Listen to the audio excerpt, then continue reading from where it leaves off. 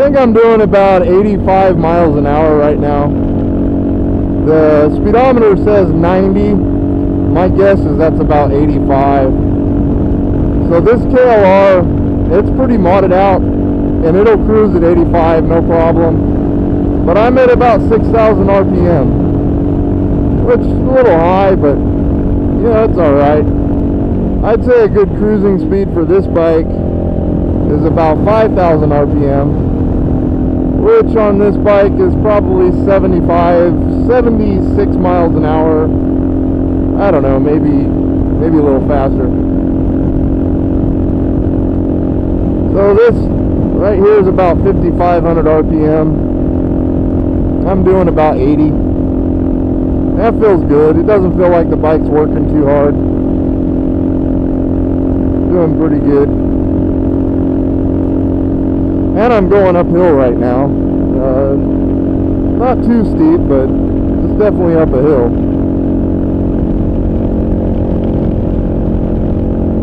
And I got this KLR set up with the uh, stock rear sprocket and a 16 tooth on the front. This guy's all over the road.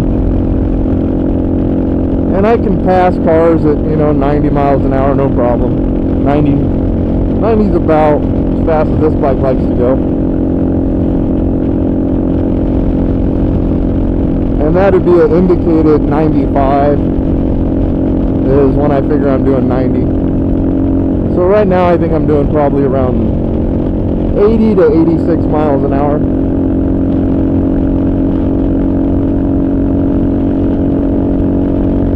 Well, like I said, I'm not sure. I could be going faster than that. I'm just guessing that the speedometer, uh, saying I'm doing 90 right now, this feels like about 85. And I'm less than 6,000 RPM at at uh, an indicated 90 mile an hour. And kind of high RPMs, higher than I'd like, but I think the bike could do this for, well, probably all day, I don't know. But I will say I'm, I'm pretty hard on my bike. You know, I have to do a lot of maintenance on it. I break a lot of stuff. So just be aware of that. I push it up to 7,000 RPM sometimes. I do keep it out of the red though. So I'm cruising at 80 mile an hour right now and I'm at uh, 5,500 RPM. This is a comfortable cruising speed for me. So about 80.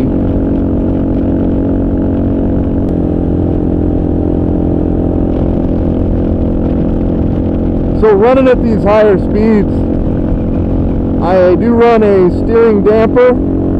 I have a Eagle Mike fork brace. I have a Cogent Dynamics front suspension. And I'm running a Supermoto fender.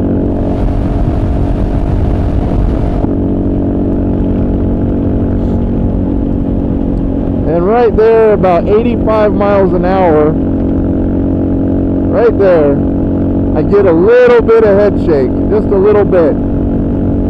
And that's with all the stuff I'm running. When this bike was stock, it got pretty bad around 70, 75 miles an hour. I, I would get a lot of movement in the front end. And I tracked it down to the stock front fender. Uh, the front fender is what I think a lot of the, the vibrations and shaking at the high speeds was coming from. And the way I determined that was with the GoPro. I mounted a GoPro on the front of my windshield and noticed when I was driving real fast that that front fender was flopping all over the place.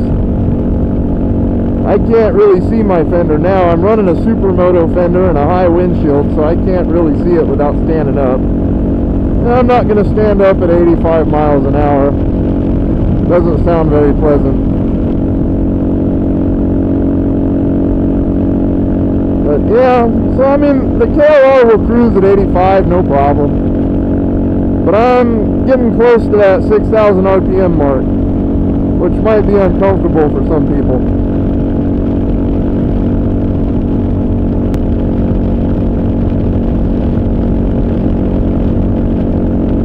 So yeah, we were talking on the uh, Facebook forum or Facebook group, KLR Delusionals. It's, you see the sticker right there about cruising speeds, and you can see right now I'm doing 85 miles an hour is what would be my guess. Uh, indicated 90, which I'm thinking is 85, and I'm not too comfortable there. 80 miles an hour feels pretty good.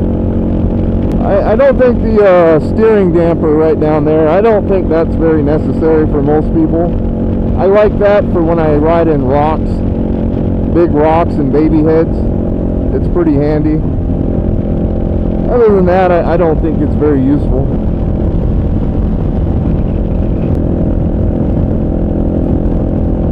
So here's 75 miles an hour and indicated 80. Again, like I said, I'm not sure about these speeds but it is indicating 80 miles an hour and my guess would be this is 75 this feels really good. This is less than 5500 rpm um, bike's not really trying that hard and feels real planted and stable.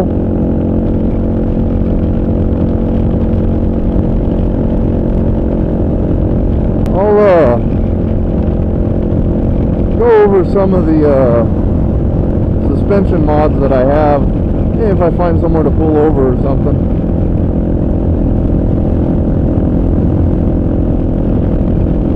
So some of the mods that I think help with the uh, higher speed riding it's definitely the fork brace. You can see here I have the Eagle Mike fork brace. It stiffens up the forks due to the how skinny they are compared to say like a motocross fork. I'm running a Supermoto fender which I think is probably one of the single biggest improvements you can make to the uh, KLR for high speed travel. The stock fender flops around quite a bit in the wind and this one's pretty stable and stiff. I'm also running the uh, Cogent front suspension. And that I mean, that's a game changer for the KLR. I think, uh, well, it's not necessary to run cogent suspension. If you ever get it and run it, you will probably not regret it. Um, I definitely like having a higher windshield. You can see here, I've got the KLR windshield riser. I can't remember who makes it. I think it's called KLR Dash. And this is the uh, zero gravity windshield. And that setup right there keeps most of the wind off me. I'm running a steering damper. This is a Scott steering damper. I've never seen anyone run one of these on a KLR before.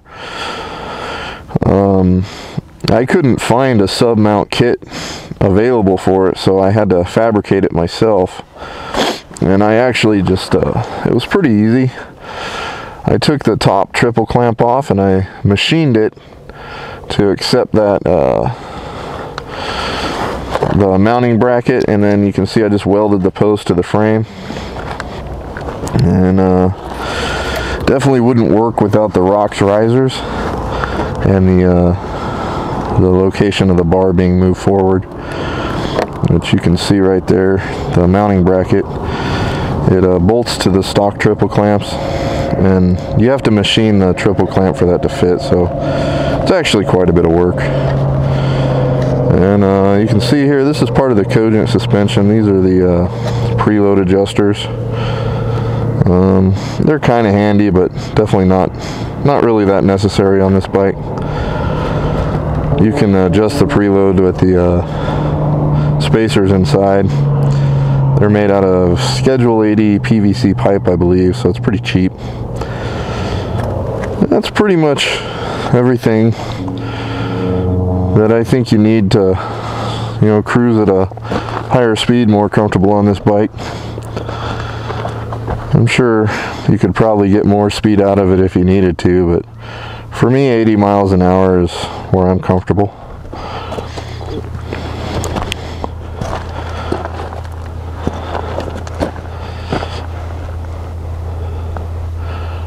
Give you guys a little view of the area I'm riding. Not a whole lot here.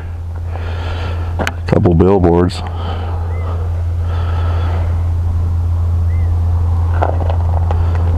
It's really an awesome day.